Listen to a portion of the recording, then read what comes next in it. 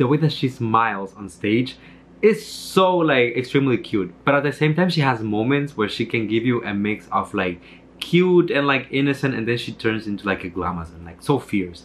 The facial expression changes. Hello everyone, welcome once again to my channel. It's your boy Luis Portelles and for today's video we have a very special reaction because we are going to be checking out on this channel for the very first time ever the full performance of Miss Universe Thailand 2020 Amanda Obdam. I feel like over time Amanda has really earned the reputation of an iconic legendary queen within the Miss Universe bubble. And to be honest, I feel like it was kind of a process. It's not something that happened instantly, uh, but Amanda was definitely a fan favorite since the beginning. As she started competing during Miss Universe, it just got better and better and better. But if I'm being truly honest, I was not always the biggest fan of Amanda. Not in a bad way, but I remember filming a few videos a while ago about her and uh, there were certain scenarios where I was really not that impressed. I remember there was like a Q&A challenge this was not during the competition this was prior to it and she seemed like a little off like very tired very i don't know like the energy wasn't there and that kind of like i was like hmm i don't know about this. But ultimately i have this was not during the competition this was prior to it and she seemed like a little off like very tired very i don't know like the energy wasn't there and that kind of like i was like hmm i don't know about this but ultimately, I have to admit that as the pageant started, she clearly became a threat. You know, she had the best national costume.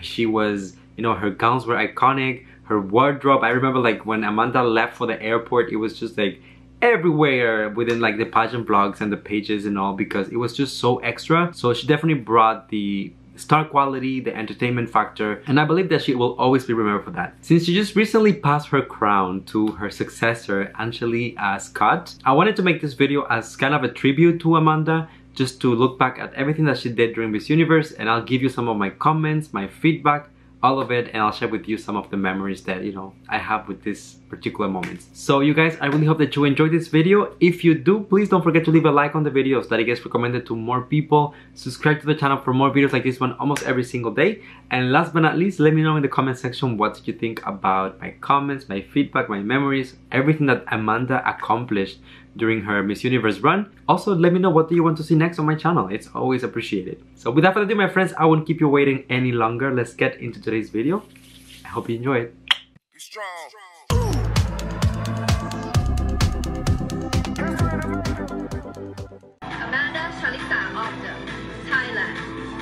The next contestant to move on to the swimsuit round is Thailand. Come on, swimsuit. Hi everyone, I am Amanda Chalisa of the Miss Universe Thailand. My mother once told me a story that when I was born, my father picked me up and went to the beach just a couple days after. Being an island girl, I decided to get my open water certificate. It was a whole different world that I did not know existed. Being a mental health advocate is something that is really close to my heart and it's very, very important to me. And that's why I started my Happy Listen campaign to raise awareness about being a better listener. Because if we know about it, then we know how to deal with it. Okay, I remember this introduction video. I actually made a top list of my topics for this one. And one of the comments that I had for Amanda was that uh, well, first of all, I love the set at that point. It's so luxurious, it's so elaborate, and it just looks like she's like in a very expensive studio. But also, I did appreciate how much of her story she shared. I remember that she mentioned that she actually lived in Toronto at some point, which is like super close to where I stay. And I was like just so like intrigued, like, oh my god, Amanda Obdam actually was just like five hours away from me. So that was crazy. But still, I felt like there was a lot of information to be included within such a short video and I was not like 100% convinced just yet at that point. But looking back, you know, and after several months of me getting to know her a little bit better, I follow her on social media and all, so I get to see a little bit more of her. I can see her charm, I can see the beauty and the grace that she has. So all of those things I do appreciate nowadays. Ooh, this was for the national costume. The winner, the winning national costume. It's a Siamese fighting fish known for its vibrant array of colors, but also for its courageous nature. This national costume is particularly inspired by this unique fish and resembles the colors of the Thai national flag red, white, and blue. Wow. I can only imagine the back part of the costume, how heavy that must have been. But anyways, on stage it was such a cool effect, you know, with all of the colors, with the the fabric that was used on the costume. It was so flowy. It looked amazing. And also I love how creative it was, you know, the designer who who made this, who put this piece together for Amanda really thought outside of the box and outside of proportions, dimensions, it really went with something that like a fish. Who would get inspired by a fish and then like create a literal fish? That was super super cool. I also something that i really love was the attention to detail on the front part like the head of the of the fish. Also what she was wearing herself like the costume you know like on the on the corset what she had on the on the shoulders. It was just like so well thought out, so creative. And compared to everyone that night, I do feel like Amanda rightfully won the best national costume for this particular challenge. It was beautiful. This fish likes to fight. It is blue, red, and white. It's Thailand.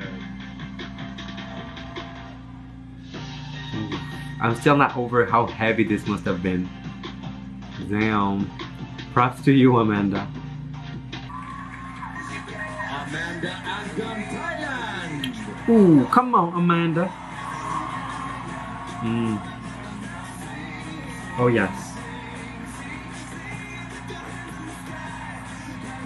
Amanda had the facial expression on point. This girl knew how to model with her face. And the body. Body, yaddy, yaddy, yaddy, yaddy, yaddy, yaddy. Mm. Number seven is Okay, let's go back. So Amanda has something about her that is like so so charming. You know, like the way that she laughs, the way that she, the way that she smiles on stage, is so like extremely cute. But at the same time, she has moments where she can give you a mix of like cute and like innocent, and then she turns into like a glamazon, like so fierce. The facial expression changes, and it also translates through her body through her movements and even through her walk so i feel like definitely on those you know elements she was one of the best on this particular year miss universe 2020 also something that i remember that it was going like all over the the vlogs and everyone was talking about it was this you know robes that they were giving like the accessories that they were wearing some of the candidates were really struggling with it Amanda was in control. She knew how to place it, how to play with it, with the wind, and just make it work. So nothing but props to her because this definitely it added a layer of complexity and not everyone was able to pull it off so to see that not only she had all of the technique but also was able to you know work with whatever challenge they threw at her says that she was a pro i mean she still is. Number seven is certainly heaven for Thailand. come on thailand Mhm.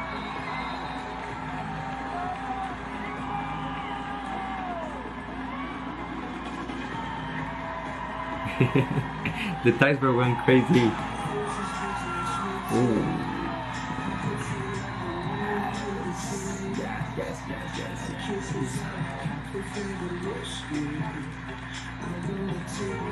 Mm. The twirl.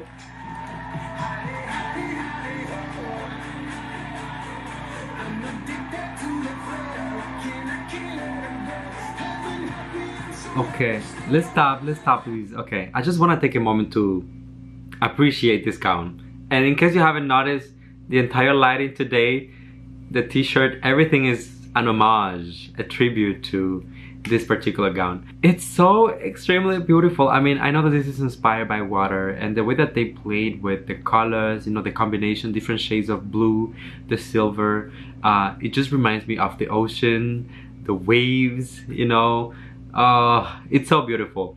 And Amanda herself is just stunning. You know, being able to play a little bit on both camps, you know, swimsuit, which is extremely fierce, sexy, playful, and then being able to change completely for the evening gown presentation is remarkable. And it requires a lot of skill. Amanda was so, so elegant this night. The way that she walked, the way that she, you know, facial expression, the way that she was looking at the audience, connecting with the camera. It was just like beyond.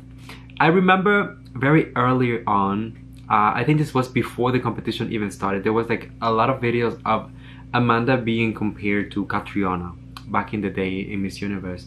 And actually, I did agree with that back in the day at that point because there was definitely, you could feel the inspiration. However, throughout her journey in Miss Universe and especially towards the end of it, I feel like Amanda was able at that point to find the element that that made it hers. She was able to whatever inspiration she took from anyone, she was able to to make it her own at that point. And it was no longer a reference to anyone, it was Amanda Obdam's walk. On top of that, you throw her personality, so charming, I mean so beautiful. Her technique, you saw that that twirl with the hair that followed, it was just like effortless and so so so precise and you know just look at the way that she walks the legs the positioning of the body. Exquisite. Nothing to criticize right here. What a woman. What a woman. Look at the movement of the hips. Coordination of the feet.